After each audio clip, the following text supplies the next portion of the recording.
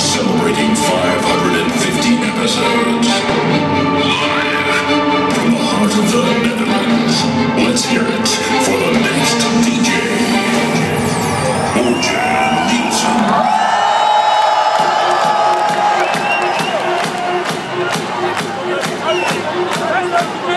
Nielsen.